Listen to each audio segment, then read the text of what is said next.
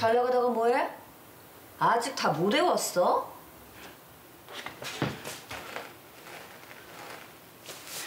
무진물산 사장 박무삼, 박물 회장의 막내 동생. 그룹 주도권을 잡기 위해 다방면으로 로비 중. 맞죠? 재계 주요 인사 리스트 270명, 얼굴 경력 참고 사항까지 달달 외웠어요. 그럼 다음은 명상 그룹. 일은 언제예요?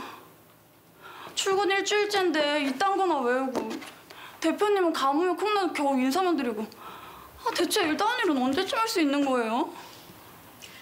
이게 세진 씨 업무야. 경제 파트 끝나면 정치인하고 관료들 프로필 암기. 그 단계도 마스터하면 지금까지 외운 사람들 친인척 단계로 넘어갈 거고. 아 진짜 돌아가시겠네 14일. 뭐가요? 대표님 기록.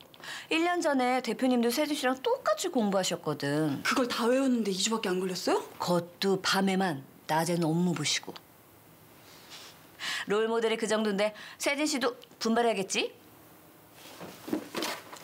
근데 대표님은 왜 리스트에 없어요? 제가 진짜 궁금한 사람은 대표님인데 알려주고 싶어도 못해.